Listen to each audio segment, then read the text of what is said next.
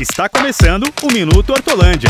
Um giro de notícias para deixar você bem informado. Nossa querida Hortolândia já está comemorando seus 32 anos. O último final de semana foi muito agitado, com muitos eventos e prestação de serviços à população. Vamos conferir? Cerca de 500 pessoas aproveitaram o evento voltado à promoção e cuidado com animais de estimação, o Ortopet. A quinta edição do evento foi realizada no Observatório Ambiental Parque Escola, no Jardim Santa Clara do Lago. Na manhã do sábado, dia 6 de maio, rolaram diversas atividades para os tutores e seus pets, como banho para cães, orientações veterinárias, conscientização sobre guarda responsável e até feirinha de adoção. Um evento animal. Na mesma manhã, mas do outro lado da cidade, a população pôde se divertir e aproveitar os serviços oferecidos pela prefeitura.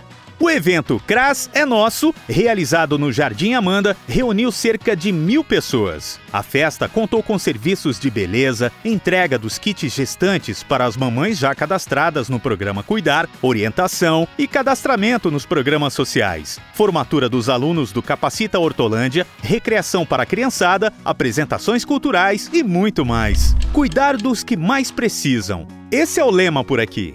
E olha a novidade! A campanha Lacre Solidário 2023 já começou. A campanha foi relançada na última segunda-feira e é bem simples de participar. Sabe o lacre das latinhas de refrigerante? A cada 140 garrafas de 2 litros cheias desses lacres, é possível comprar uma cadeira de rodas para ajudar pessoas em vulnerabilidade social. Confira todos os locais de arrecadação no site da Prefeitura, hortolândia.sp.gov.br. Pratique a solidariedade no seu dia a dia. Abriu, tirou, doou. Abra seu coração e participe.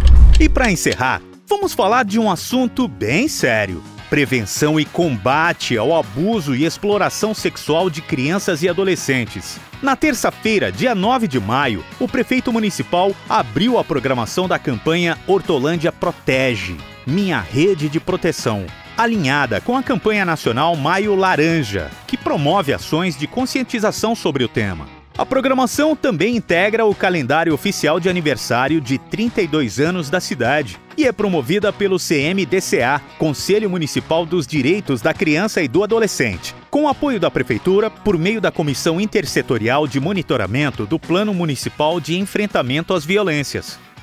E por hoje é só. O Minuto Hortolândia fica por aqui. Para mais informações, acompanhe nossas redes sociais. E até a próxima semana.